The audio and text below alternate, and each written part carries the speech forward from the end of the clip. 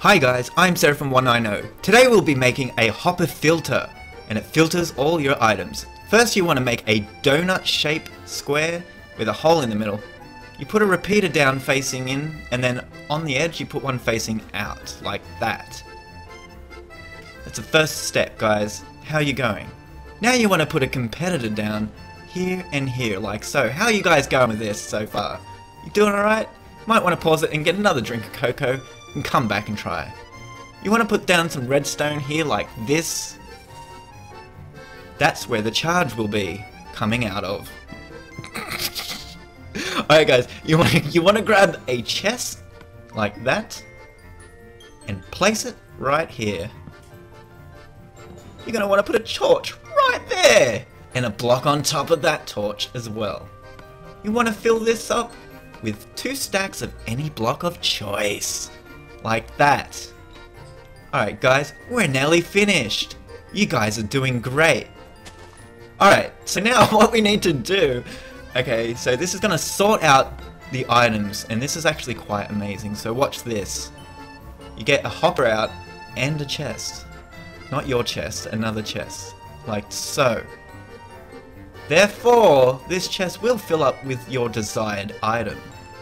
I know it's complicated, but stick with me guys. This could be handy for your world and your world. Okay, you want to place, you want to crouch place these on top of each other like so, two hoppers.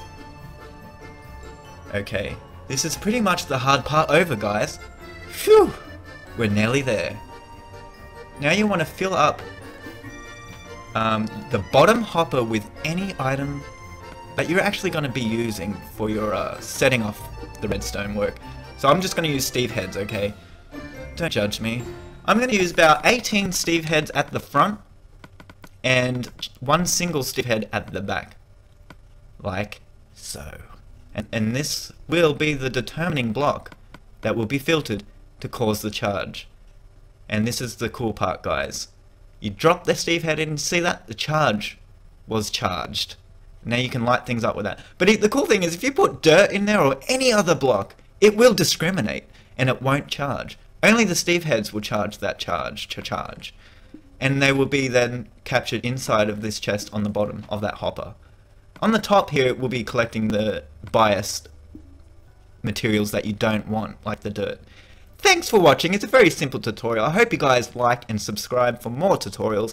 I have a lot of videos. I've got a lot of stuff going on guys, so check that out. Share my video, share the love. Thanks guys, peace out.